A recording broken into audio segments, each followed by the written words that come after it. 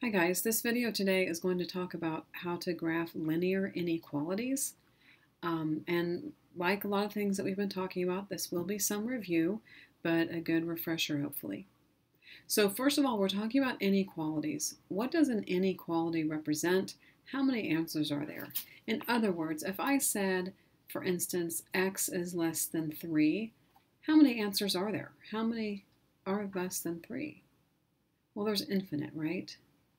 And if it's just x is less than 3, then we do that on a number line, and we show that on a number line. But what if it is not just a simple answer like that uh, with one variable? What if it's a two variable answers? In that case, we graph and we shade the whole plane, the whole, like half of the graph paper, basically. So that's what we're going to talk about.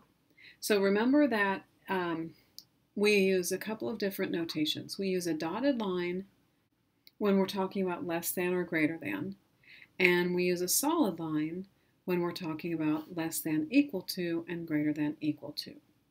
All right, so what we do is we shade the line, and then we have to decide, excuse me, we graph the line, and then we have to decide which way to shade. And so how do you know which way to shade and what is the most common test point? Let's talk about that maybe after we do an example. First of all, just graphing the line itself. I recommend before you start graphing, looking at it and deciding, is this going to be a dotted line or a solid line? It's going to be a dotted line because there's not an equal sign, so we will have a dotted line. This line is in slope-intercept form, so we can just graph it using slope-intercept form. So I'm going to go to my negative 2, and I'm going to go up 4 and right 1, up 4, right 1, or down 4, left 1. And now I'm going to connect those points, but I want to connect them with a dotted line, not a solid line. Okay, so here's what my line is going to look like. Now, let's talk about that question we skipped just a second ago. How do you know which way to shade, and what is the most common test point? There are a couple of different ways to decide which way to shade. One way is the easiest way. Okay, the easiest way is if y is less than or less than or equal to, then shade below. And if y is greater than or greater than equal to, then shade above. Let's think about that. First of all, it has to be in the form starting with a y. If it doesn't start with a y, you can't use this rule. This rule is only a shortcut and it can only be used if it starts with y is less than or y is greater than. But think about it. The y is the up and down, right? So if y is less than, then doesn't it make sense that we would shade below the line? Whereas if y is greater than, doesn't it make sense that we would shade above? Notice I'm not saying left and right because it's a y that we're focusing on. So we're focusing on the y-axis, and if y is less than, it's down here in the y below part, whereas if it's y is greater than, it's up here in the y above part. So I'm going to go ahead and shade this in. It is less than, so I'm going to shade it in. As far as the shading goes, you don't have to go crazy. Um, it doesn't have to be like super black, Sharpie black. It can just be shaded in. Now, it does need to be dark enough that I can see it because I'm grading your paper, so I need to be able to see it. Also, it should at least extend to the edges of the little graph paper. Um, if it goes farther than that, that's fine, but it has to go and cover the entire area. Okay, that is if y is less than or if y is greater than, it would be up here. Let's do another example. Example number two. Remember we talked about the cover-up example with these. This is in standard form. So if I plug in a 0 for x, I'm going to cover up that term, and I'm going to take 24 divided by 4, that's 6. Whereas if I plug in a 0 for y, I'm going to plug a 0 in here, that cancels that one out, so I can cross that out. And then I can look at 24 divided by 3 is 8. And so now when I graph this, I'm going to graph up here at 6 because it's 0, 6, so 0, 6. And then 8, 0, once again, I should have used different graph paper, but here we are. So let's say that this is 8, 0 is here. Okay, one thing I didn't do, and I should have, but before I draw it, I definitely need to do, is look and decide is this going to be dotted or solid? Well, that's going to be solid, right? So I'm going to get my straight edge, and I'm going to draw this line connecting my 6 with my 8. And again, we've been talking about how many points do you need to have to make a line. Um, with the intercepts, it's really, you just have two. You have the y-intercept and you have the x-intercept. Now, you could put some extra points on there if they went through specific points. Um, so what I'm thinking of, the slope of this goes down 6 and over 8. And if it goes down 6 and over 8, that really is equivalent to 3 fourths. So I should be able to go down 3 and over 4. Since I didn't have my points actually on the graph, it's a little bit off. But if you wanted to put another point in there, you could. That's not really necessary, but that's another way to get another point if you need another point. Okay, and it was a solid line because it was equal to, so it is solid. Now, this rule, if y is less than or less than equal to, shade below, and if y is greater than or greater than equal to, then shade above, that does not work with this situation because this is not in slope-intercept form, so we can't really do it with this one. What we do instead is we come up with a test point. And what I mean by test point is you want to just pick a random place out here on the graph. You could pick any point. We could pick this point. We could pick this point. We could pick this point. We could pick anything on the entire graph. The most common test point, though, would be the easiest one to plug in. Of all the numbers on this entire grid, which one is the easiest to plug in? I personally think 0, 0 is the easiest to plug in. So we're going to take 0, 0 and we're going to plug it in to this equation. So for instance, I'm going to have 3 times 0 plus 4 times 0 is less than or equal to 24. All right, when we do that, let's see what we come up with. That's 0 plus 0, so that says 0 is less than or equal to 24. Now you have to ask yourself, is that true or false? Well, it's true. It is less than 24. 0 is less than 24. If it is true, that means you do shade on that side of the line. If this was false, then we wouldn't shade on that side of the line. We would go to the other side of the line because in that case, this would have made it true or some other point over here. So you just need to pick one point. Usually 0, 0 is the easiest. And if it's true there, you will shade on that side. If it's false there, you won't shade on that side. The only problem with this one is what if it goes through the 0, 0? What if it's already going through the origin? If it's already going through the origin, you're going to have to pick a different number, like, I don't know, 10, 10, or negative 2, 1, or, you know, whatever is an easy number to you to plug in. But if 0, 0 is available, let's use it. Let's write some of this down in this space up here. Okay, so our rule is if 0, 0 makes the statement true, shade on the 0, 0 side. If 0, 0 makes the statement false, then don't shade on the 0, 0 side. Go to the other side instead. So this rule, this plugging in 0, 0 rule, will always work. And so it is the guaranteed way to get the right shading. This rule over here on the left, that only works if it's in, basically if it's in slope-intercept form.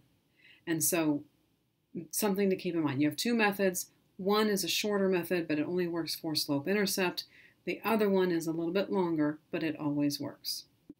Okay, as always, if you have questions, write down questions in the margin. We're about to turn the page. Okay, as we look at this example, we're going to do a couple of word problems. In the next couple of weeks, we're really going to be focusing a lot on some word problems. So we're going to keep practicing on these. Um, you are saving money to go on spring break. You start with $45 in your savings account and you add $15 per week.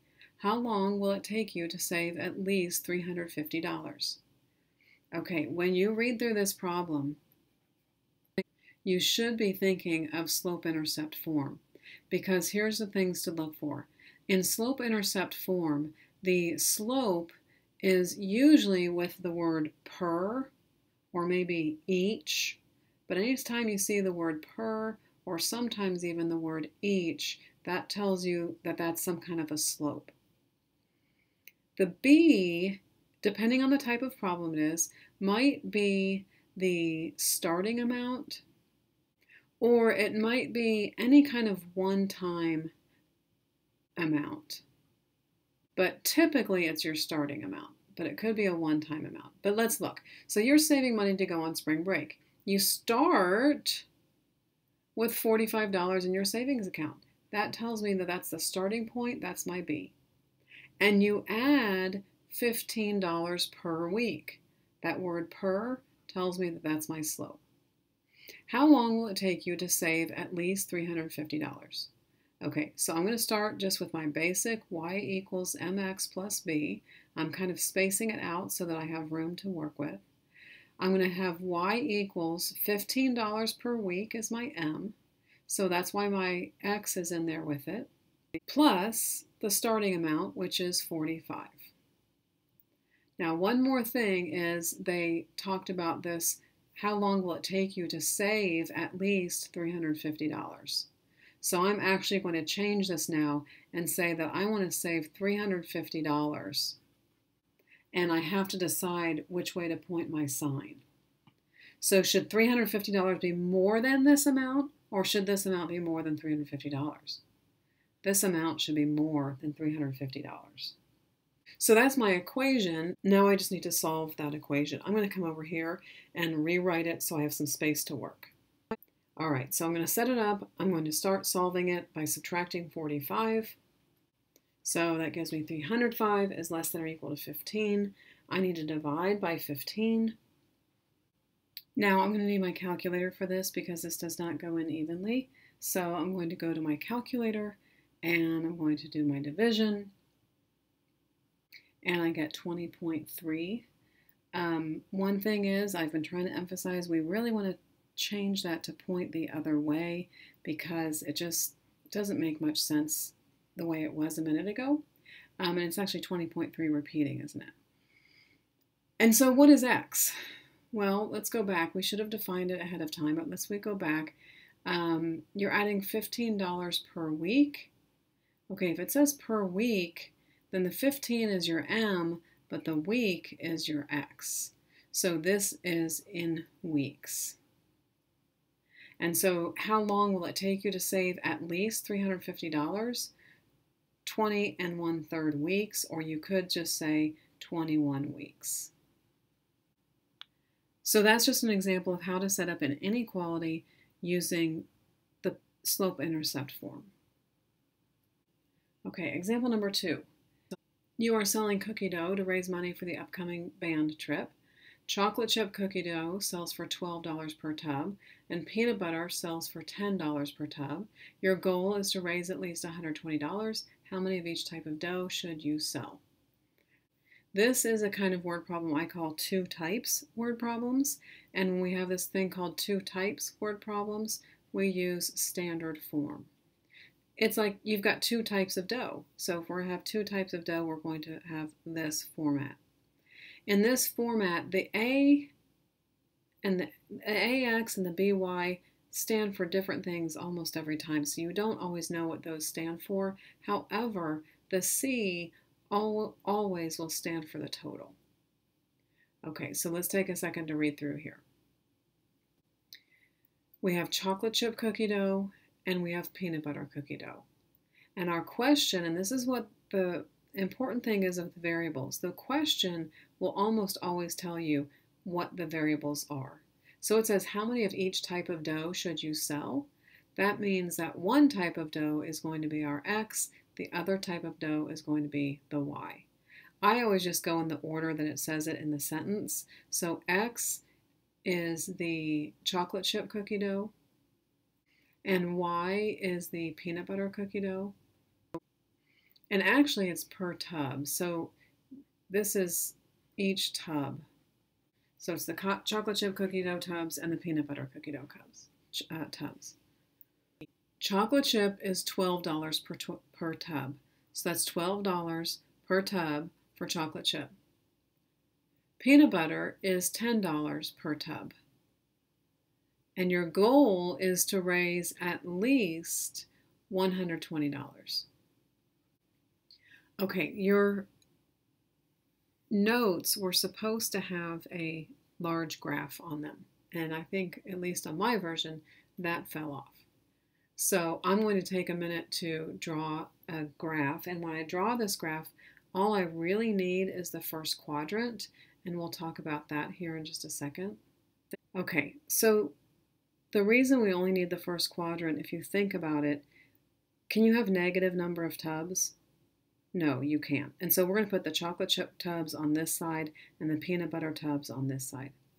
Now, because the y is the peanut butter, so my y-axis, and the x is the chocolate chip, so my x-axis.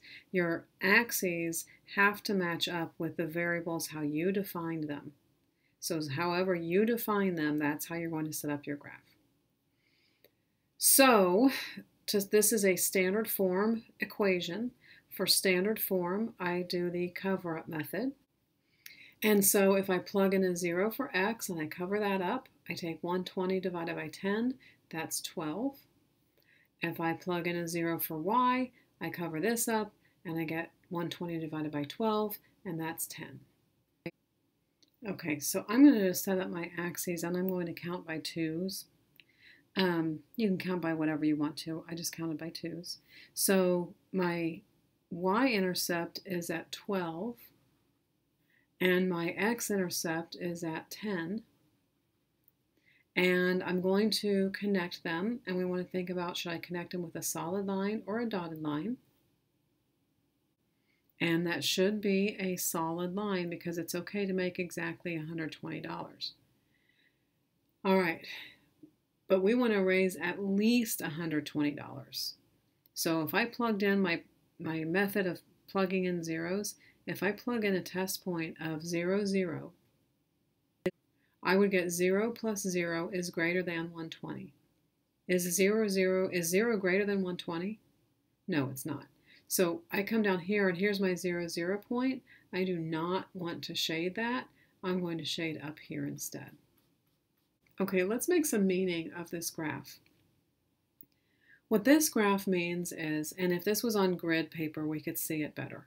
But for instance, it means I could sell 14 chocolate chip and 4 peanut butter, and I would make more than $120. I could make 6 chocolate or sell 6 chocolate chip and 12 peanut butter, and I would make more than $120. Any point I can find out here is going to make more than $120 any point that's on the line, how much is that going to make me? That's going to make me exactly $120. So any point along this line would bring in exactly $120. Any point up here in the shaded area would bring in more than $120. And guess what? Anything in this area that's not shaded in, that means I didn't make my goal. I didn't make at least $120. Okay, so those are some a couple of examples of word problems. Like I said, we're going to be focusing a lot on word problems in the next couple of weeks. Write your questions in the margin. Any questions that you have, write them in the margin. The other thing is there are some lines here for summary, and you know that if there's lines here, we need to write in a summary. Maybe you could write when you use standard form, when you use slope-intercept form. Maybe you could write when you use a dotted line, when you use a solid line. Maybe you could write how to decide which way to shade. Okay, whatever, but you need to write something in this lines for summary. And then tomorrow in class, we will work some more on the inequalities.